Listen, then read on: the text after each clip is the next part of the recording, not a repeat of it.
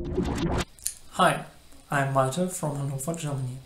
I'm part of Medinetz Hannover, an NGO which helps people without or with limited access to the regular healthcare system. We support especially undocumented migrants to get adequate medical treatments.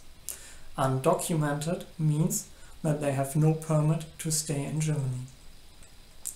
In Germany, although it seems to have one of the best healthcare systems in the world, there are hundreds of thousands of people who can't benefit from this system.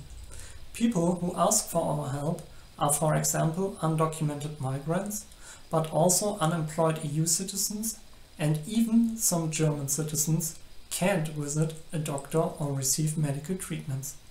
The situation of the people who contact us is already difficult in normal life. But with the spread of COVID-19, their situation has worsened. Our clients have a lack of information about the situation, often problems to build up an effective quarantine, and inadequate access to tests and medical help.